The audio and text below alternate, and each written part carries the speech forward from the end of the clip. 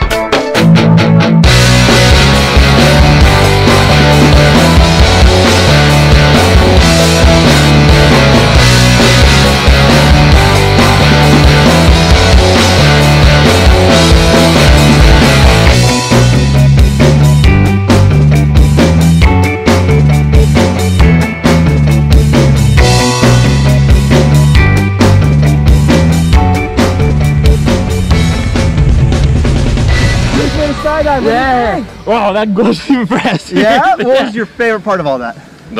The first time when Yeah. we were jumping and all the speed and everything was. yeah. Big high five. Big thumbs up. Say blue skies. Blue skies. Skydive Taft. We'll see ya!